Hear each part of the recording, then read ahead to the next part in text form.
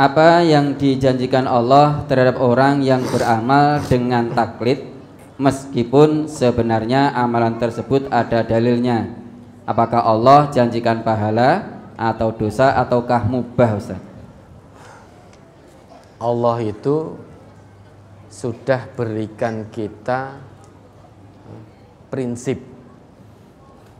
Allah sudah berikan pada kita rumus dalam beragama sebagaimana yang Allah tetapkan dalam Quran surat Al-Isra ayat 36 itu wala taqfu ma laisa bihi ilmun Jangan kamu ikuti apa pun yang kamu tidak tahu ilmunya.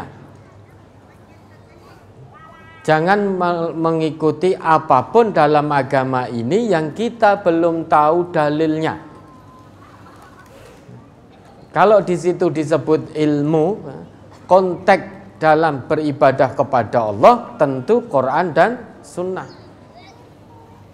Kalau belum tahu dalilnya dari Quran maupun dari Sunnah, jangan ikut-ikutan melakukan. Karena agama ini bukan agama ikut-ikutan. Agama ini itiba itu itiba Rasulillah. Kita mengikuti Nabi, tidak mengikuti selain Nabi. Yang paling paham tentang agama ini adalah Nabi. Maka kalau belum tahu ilmu dalil dari Quran maupun Sunnah jangan mengikuti. Kenapa? Inna sam'a wal basara wal fuada kullu ulaika kana anhu mas'ula. Sesungguhnya pendengaran akan dimintai pertanggungjawaban di hadapan Allah kamu kok melakukan amal seperti itu, beribadah seperti itu, kamu mendengar keterangan dari siapa? Wal posor, penglihatan juga akan ditanya. Kamu melakukan satu amal perbuatan seperti itu, kamu melihat perbuatannya siapa? Wal fuad, hatimu condong kepada siapa? Semuanya akan ditanya dimintai pertanggungjawaban. Dan kita tidak akan bisa menjawab di hadapan Allah, ya Allah aku begini karena aku mengikuti fulan.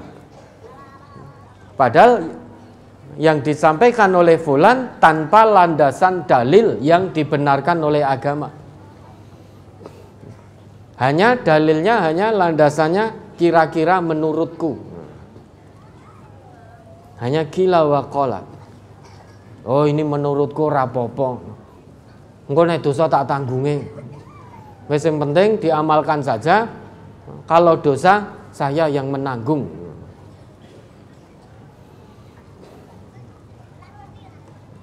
Ini hanya dasarnya kira-kira. Dalil menurutku kira-kira kila wakola dalam agama itu bukan dalil.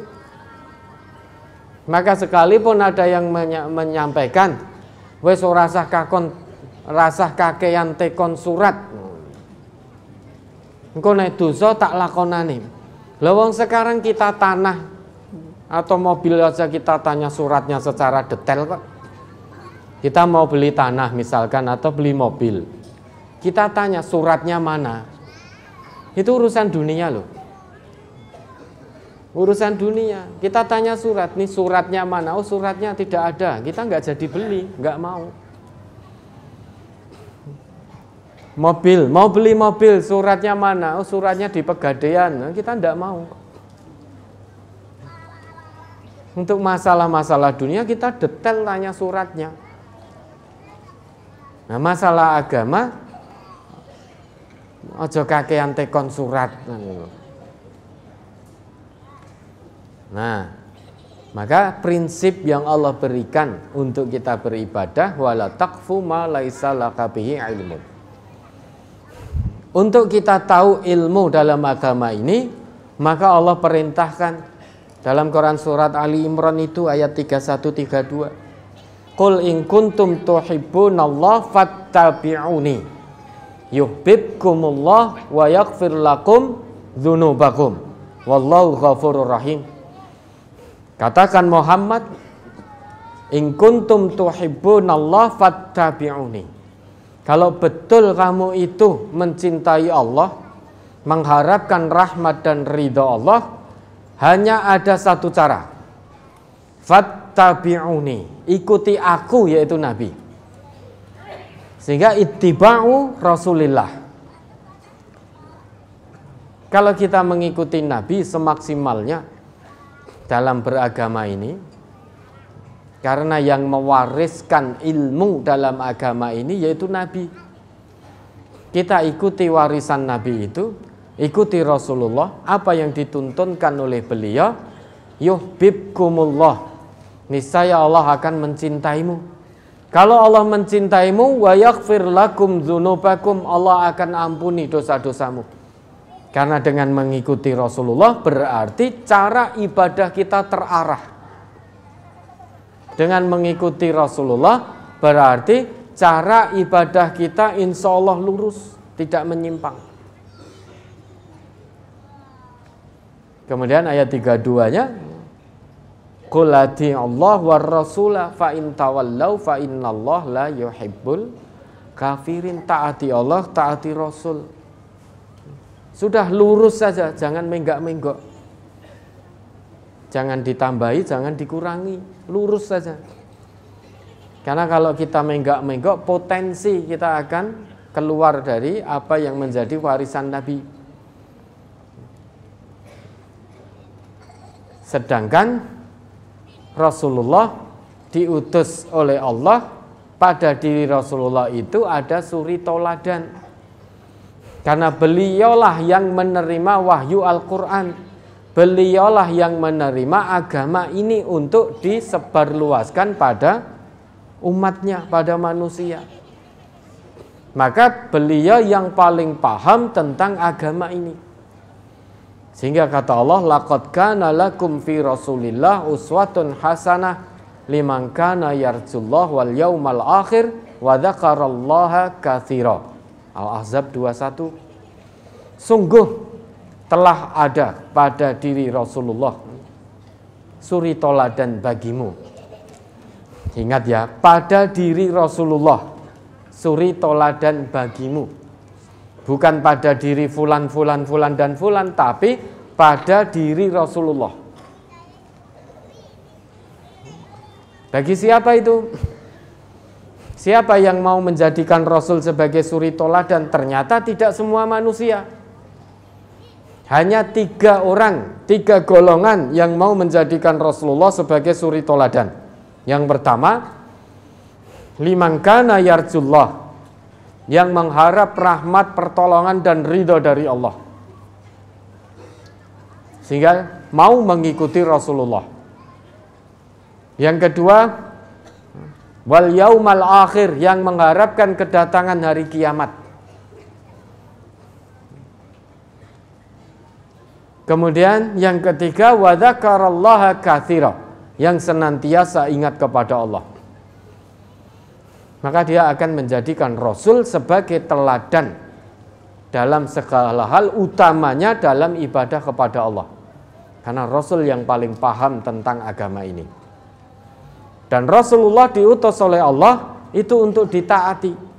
Wa ma arsalna mir rasulin illa liyuta'a bi idznillah An-Nisa ayat 64 Dan tidaklah kami utus seorang Rasul Melainkan agar ia ditaati dengan izin Allah. Ditaati berarti diikuti. Apa yang menjadi tuntunan beliau Yang menjadi ajaran beliau diikuti. Jika beliau melarang tentang sesuatu kita tinggalkan. Jika beliau perintahkan tentang sesuatu kita tunaikan semaksimalnya. Wa ma nahaitukum an syai'in fajtanibuhu. Jika aku cegah atau larang kalian dari mengerjakan sesuatu, maka jauhi, tinggalkan, jangan kamu kerjakan. Wa idza amartukum bi amrin fa'tu minhu mastata'tum. Jika aku perintahkan kamu untuk satu perbuatan, tunaikan perbuatan itu secara maksimal. Itu perintah dari Nabi kita.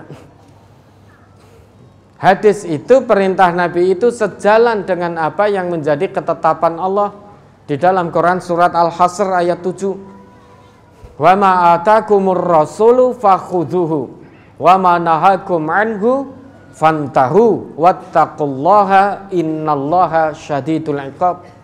Al-Hasr surat ke-59 ayat 7. Apa-apa yang Rasul datangkan pada kalian terimalah dan apa-apa yang Rasul larang, yang Rasul cegah, maka tinggalkan, jauhi. Wattaqullah, bertakwalah kepada Allah. Untuk mengerjakan perintah Rasulullah, landasannya takwa, takwa Allah. Untuk meninggalkan apa yang menjadi larangan Rasulullah, landasannya takwa Allah. Innallaha syadidul iqab. Karena tanpa takwa Allah, ingat hati-hati, sesungguhnya siksa Allah itu sangat keras. Yang diperintahkan oleh Rasul malah tidak kita kerjakan, yang dilarang oleh Rasul malah kita kerjakan. Ingat, innallaha syadidul iqab. Sehingga biar tidak taklid, ikuti Rasul. Taati Allah, taati Rasulullah maka lantadillu tidak akan sesat. Taklid itu sangat dilarang dalam agama. Jangan sampai tata cara beragama kita hanya ikut-ikutan. Hanya mengikuti nenek moyang kita. Coba diingat kembali itu Quran surat Al-Maidah ayat 104. Surat Al-Maidah surat ke-5 ayat 104. وإذا قيل لهم تعالوا إلى ما أنزل الله وإلى الرسول قالوا حسبنا ما وجدنا عليه آباءنا أولو كان آباؤهم لا يعلمون شيئا ولا يهتدون Apabila dikatakan kepada mereka, marilah mengikuti apa yang diturunkan Allah dan mengikuti Rasul. Mereka menjawab, Cukuplah untuk kami apa yang kami dapati bapak-bapak kami mengerjakannya. Dan apakah mereka akan mengikuti juga nenek moyang mereka walaupun nenek moyang mereka itu tidak mengetahui apa-apa dan tidak pula mendapat petunjuk. Ya, Kalau kita menjalankan agama ini beribadah pada Allah tanpa ilmu yang diwariskan oleh Nabi, Berarti acara agama kita sama dengan orang-orang yang Allah sebut dalam ayat ini. Wa idza qila lahum ta'alu ila ma anzalallahu wa ila rasuli qalu hasbuna ma wajadna alaihi aba'ana. Awalau kana aba'uhum la ya'lamuna syai'aw wa la yahtadun. Jika dikatakan kepada mereka, ta'alau. Marilah. Atau ayo ilama anzalallah kembali pada apa yang Allah turunkan dalam konteks kita berarti Al-Qur'an. Wa ilar rasuli. Dan ayo kita kembali kepada Rasul. Sunnah-sunnah Rasulullah. Singkatnya ayo kembali pada Quran kembali pada tuntunan Rasulullah serta merta mereka menjawab hasbuna ma wajadna alaihi aba'ana. Cukup bagi kami. Tidak perlu kembali pada Allah, tidak perlu kembali pada Quran, tidak perlu kembali pada Rasulullah, tidak perlu kembali pada sunnah Rasulullah dalam tata cara kami beribadah. Cukup ibadah kami mengikuti nenek-nenek moyang kami. Sehingga bagi kami tidak perlu kembali ke Quran, tidak perlu kembali ke sunnah. Cukup mengikuti bapak-bapak kami, pemimpin-pemimpin kami, orang yang kami anggap alim dan lain sebagainya dan lain sebagainya. Ditanya oleh Allah, awalau kana aba'uhum la ya'lamuna syai'aw wa la yahtadun iya menurut manusia seseorang itu dianggap sebagai orang yang paham tentang agama. Padahal yang disampaikan hanya berdasarkan kira-kira misalkan. Hanya berdasarkan menurutku wes rapopo nek dosa tak tanggungi. Itu kan berarti menurutku. Orang yang seperti ini berarti orang yang sebetulnya tidak paham tentang ilmu agama ini namun pura-pura paham dan dianggap paham yang namanya dalam agama ilmu itu ya berdasar Quran berdasar sunnah bukan berdasar menurutku Nggih menurut jenengan ngoten menurut saya begini. Kalau semuanya menurutku dalam agama rusak sudah.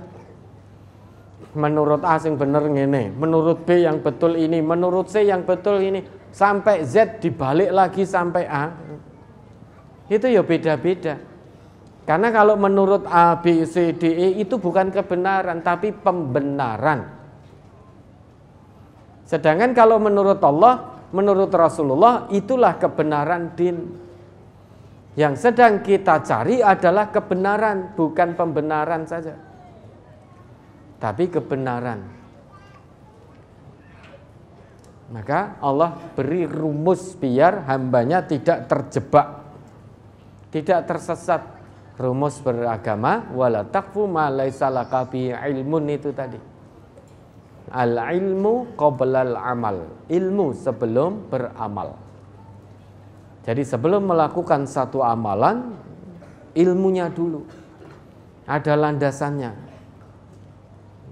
Kalau sudah tahu ilmunya, ada landasan dalilnya, maka silahkan untuk diamalkan. Ya. Ilmu ini ilmu ini harus dilandasi dengan iman. Ilmu plus iman sama dengan amal. Sehingga orang yang berilmu dan beriman pasti dia beramal.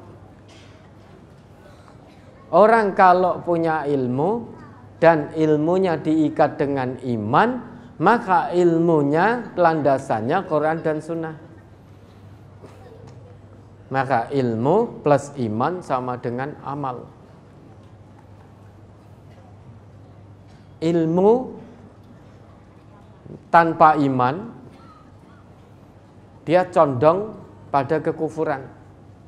Potensi untuk mengarah kepada kekufuran ilmu tanpa iman.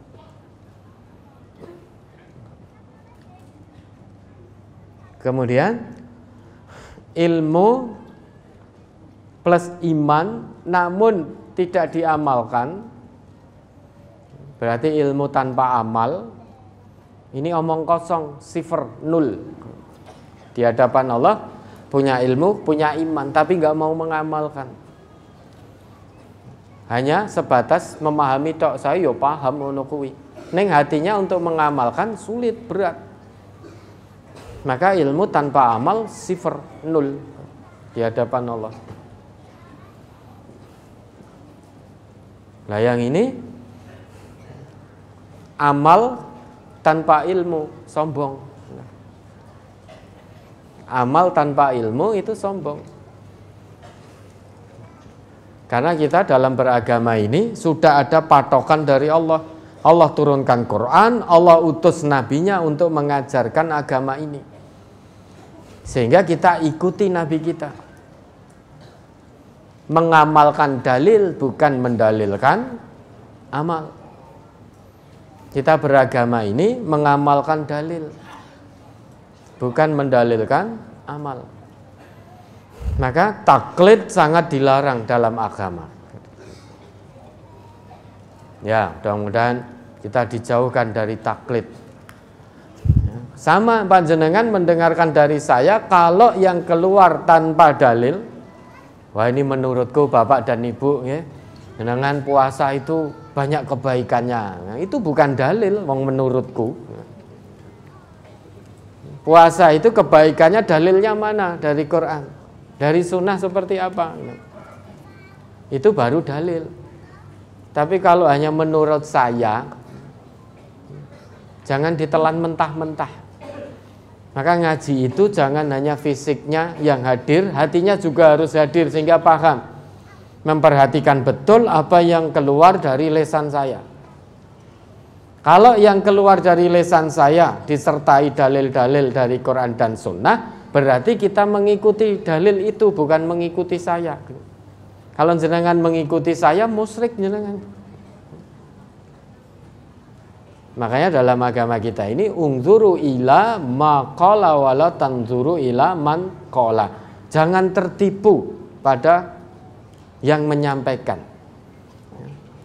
Kalau kita melihat pada orangnya kita akan tertipu. Tetapi lihat apa yang disampaikan. Sehingga kita tidak akan tertipu. Kalau yang disampaikan sesuai Quran Sunnah, siapa pun penyampainya pasti benar. Karena Quran la roibafi. Tidak perlu diragukan. Siapa pun penyampainya pasti benar kalau itu Quran yang disampaikan. Kalau yang disampaikan hadis-hadis Nabi yang sohih, benar. Maka lihat yang disampaikan, jangan lihat yang menyampaikan.